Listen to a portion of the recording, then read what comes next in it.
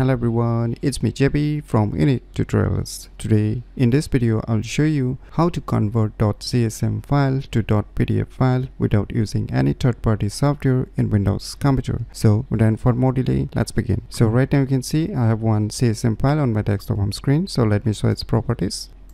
So here you can see it's a .chm file, right? So just double click on it to open this CHM file. So on the left panel you can see here contents. So if you click on this plus icon I will see all the sub contents present inside this main content so you can expand it. And say if you want to convert only a particular page then you can just select it and you can see your print option. Just click on it. Now here you will get the selected options. Print the selected topic click on ok. And now just select this microsoft print to pdf and click on apply click on print.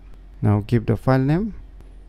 So now finally we have converted this particular chm page into a pdf file. So let us open it so now you can see here we have finally converted the respective page into a pdf file. So now if you want to convert the entire chm files into a pdf then what you can do is you can just select the first content the main content. So this is the main content. So once you select it the entire sub contents will be automatically selected. And after that click on this print and now select this second option print the selected heading and all subtopics. Just select it click on ok. And now once again just select this microsoft print to pdf and after that just click on this print and give the file name now we have finally converted the entire CHM file to a PDF file. So by using this method, you can easily convert .chm file to .pdf file without using any third-party software in Windows computer very easily. So if you never known about these cool tricks, then you should definitely give it a try. So if you find this video tutorial useful, please click on the thumbs like button and if you're new to our channel, click on the subscribe button and lastly, thanks for watching.